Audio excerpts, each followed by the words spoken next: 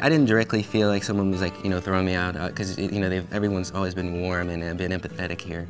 Uh, but I, I kind of in my head knew that I couldn't stay at a children's hospital forever. Transition is a process of getting um, a young person with a chronic disease ready and prepared to take on the challenges of the adult healthcare system. I think it's cool because you're becoming an adult, like you're no longer that kid who doesn't know what's going on anymore.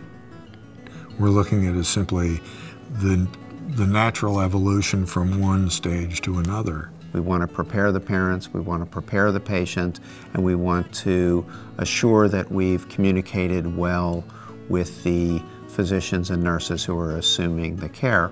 They don't want to just, all right, you're 18, out. they, want, they want to help you. So we've come together in a very cohesive fashion to make sure a lot of the hurdles that used to exist don't exist anymore um, so that it's a very seamless transition for the patient as well as their families.